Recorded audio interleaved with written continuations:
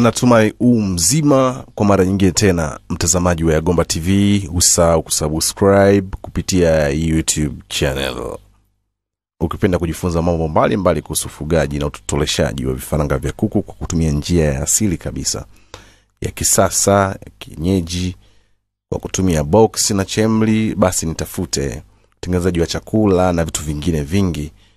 Basi magonjwa nitafute namba ya simu ni sifuri saba sita mbili tisa tano sita tatu sita sita.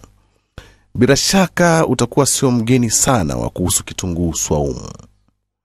Hakuna asikijua kitunguu swaumu kimekuwa kikitumika katika upishi mbali mbali ikiwa pamoja na mambo mengine zaidi na zaidi.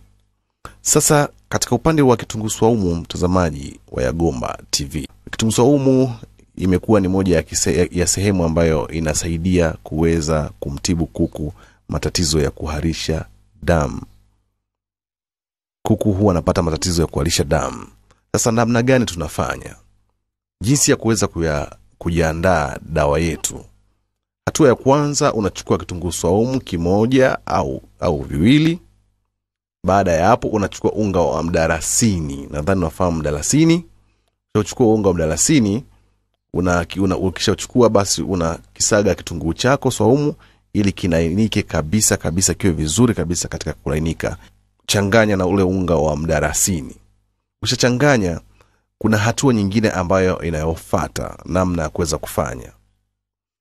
Video inayofata nitaelezea zaidi namna ya kuweza kufanya. Kuna vitu vingine tunavichanganya ambavyo vifanye, vifanye ikamilike kuwa ni dawa na tuweze kuwapa kuku wetu na itawatibu sawa sawa na dawa zingine ugonjwa huo wa kuharisha damu ama kuhara damu. Je ni namna gani ya kufanya?